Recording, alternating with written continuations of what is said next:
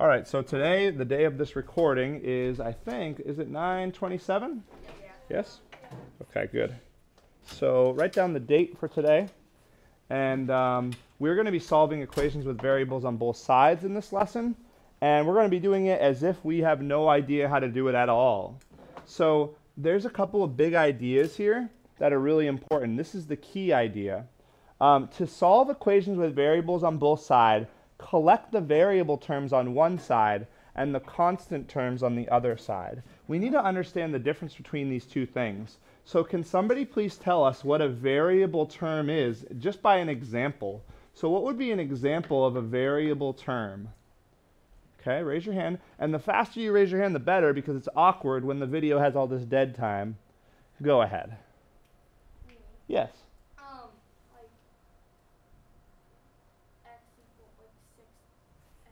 6x is a perfect example. That's one example. Can someone give another example of a variable term?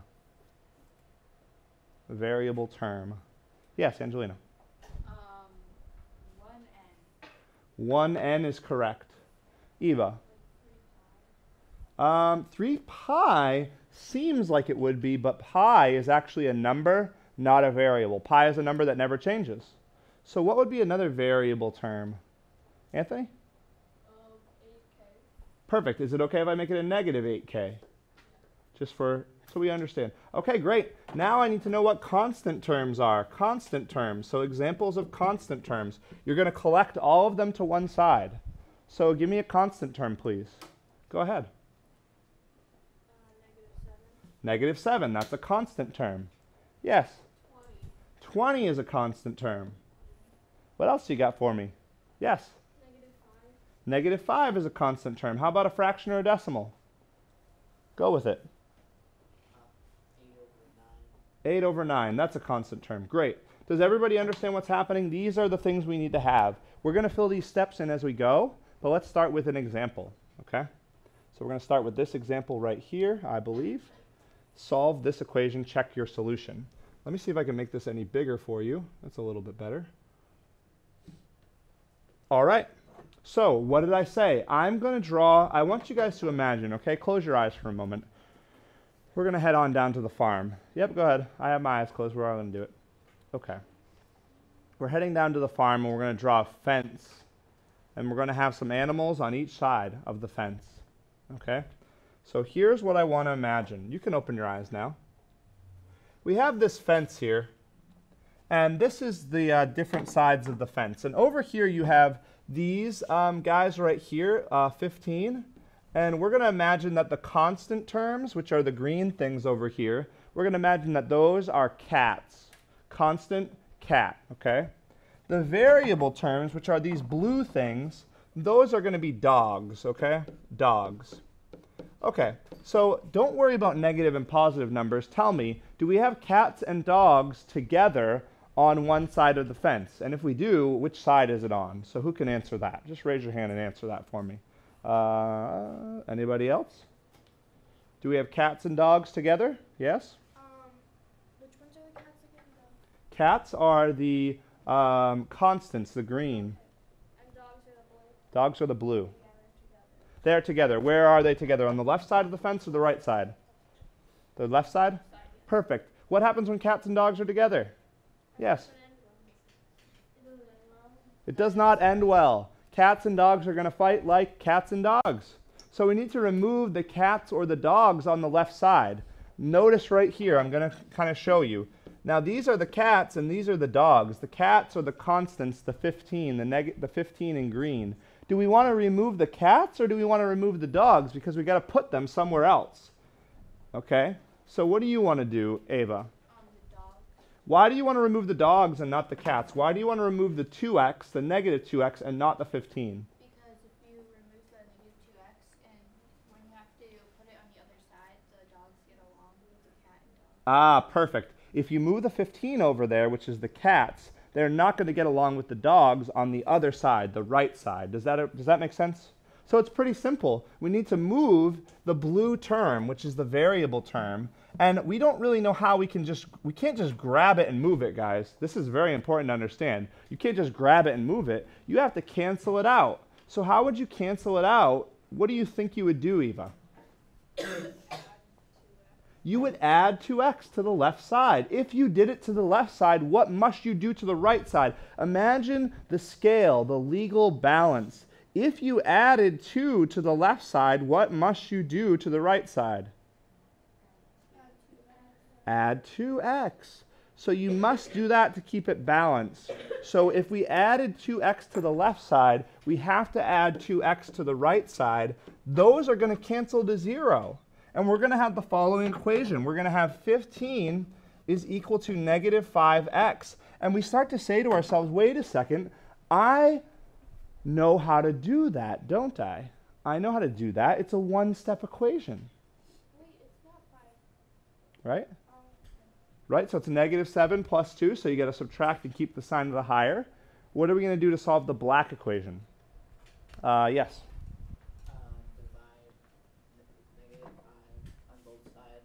Divide both sides by negative 5. Good. So x is equal to negative 3, and that's the answer. How do we know it's correct? Well, the only way we really know it's correct is if we check our solution. So I'm going to go on the whiteboard, so if you're on the video, it might not be too helpful, but I just want to save all this space here. Um, or actually, maybe it would be smarter to do it here. Let's make the right decision. Okay, so I have this equation 15 minus 2 times x. And in our class, we actually just did this. We actually just did this.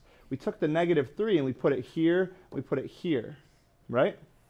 We do PEMDAS. So I've got 6 for this.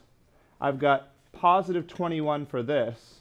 And the 15 is not doing anything, it's just staying. But 15 plus 6, is that 21? Yes. So what we can say is we've checked our solution and this is the right answer. We're actually in good shape now.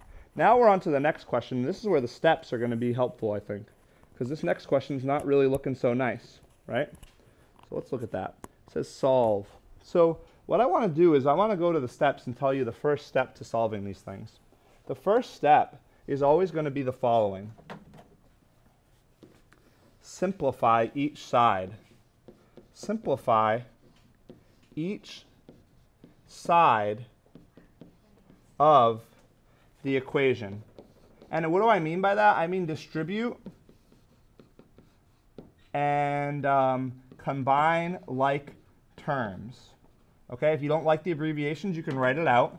But I said distribute or combine like terms. For example, there's other ways you can simplify, of course. Please write this step, okay, in the steps.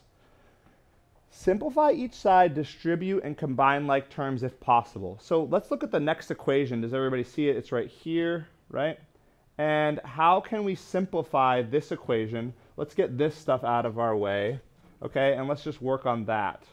So does anybody see a way I could simplify here? What would you do? Distribute, combine like terms? Thoughts? Go ahead.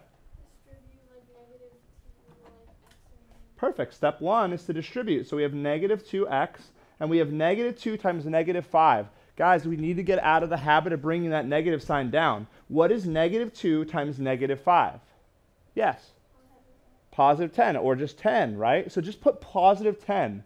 Don't put minus negative 10. Just put positive 10 when you simplify that. Okay? Now I've got my equal sign. Let me slide things over a little bit here. Slide things over a bit. Okay, and what do I want to do on the left, uh, the right side? Sorry, the right side. Yes, Hannah. Cool. So six times two is? Um, twelve. Yep. And then we got to do six times negative a half. Well, first thing I want to do is I want to figure out six times a ne- uh, positive six times a negative is going to come out positive or negative? Yes. Positive six times a negative is going to come out positive or negative? Negative. So let's just put down a negative sign. Simple as that. Okay. Now I want to take six and I want to take a half of that. Multiply it by a half. Yes. think so, but I'm not fully sure. Is it three? It is because it's half of 6. Half of 6 is half multiplied by 6. Of means multiply if you remember correctly. And don't forget your x there. Do you guys see the red equation? You see it? Does it remind you of the top equation, the first one, number 1? Does it remind you of the one up above? Sort of? So what do you think step 2 is? We talked about going to the farm. So can you guys tell me what step 2 would be? Collect. Yes, Lily.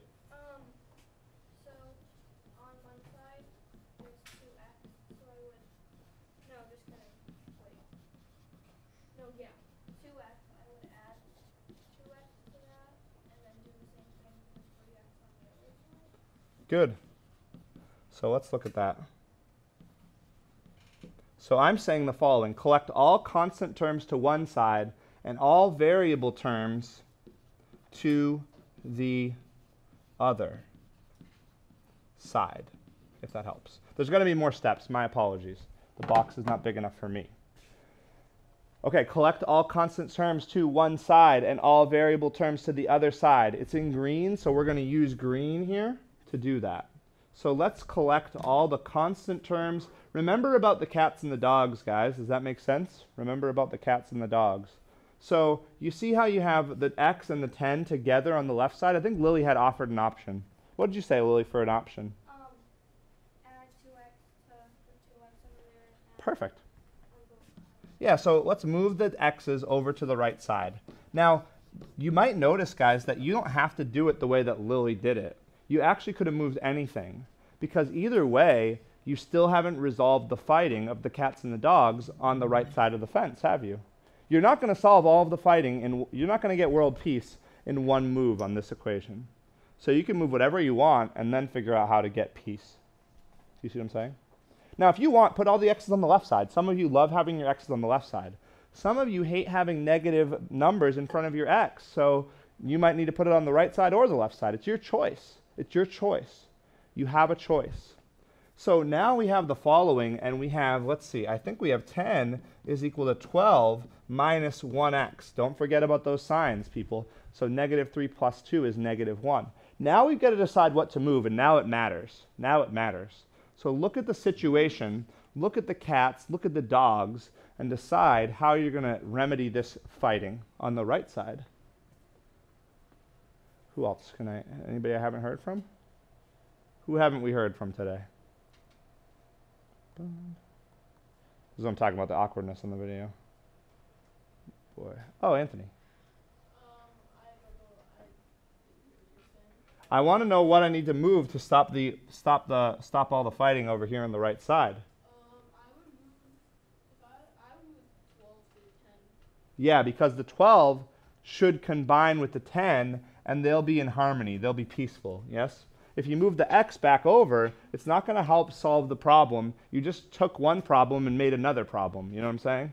So we need to move the 10. So how do we move it algebraically? Yes? No? Yes? Subtract 12. That's how we algebraically do it. We have to use the rules of algebra. We have negative 2 equals negative 1x, or just negative x. That is step two. It's done. Now, once you've done that, I'm going to write something as a step that's kind of weird. Do we have a question?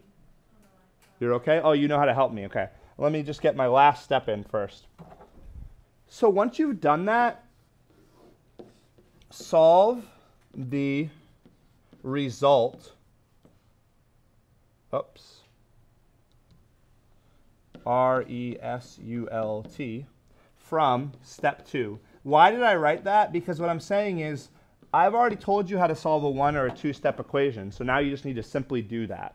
Simply do solving the one or two step equation. So here's where we're at. We want to solve this result. So how do we solve this result? Yes? divide by negative 1. Divide by negative one. If we've mastered those quizzes, we'll find that that makes a lot of sense. Negative divided by a negative gives us a positive 2 for x. So x is equal to positive 2.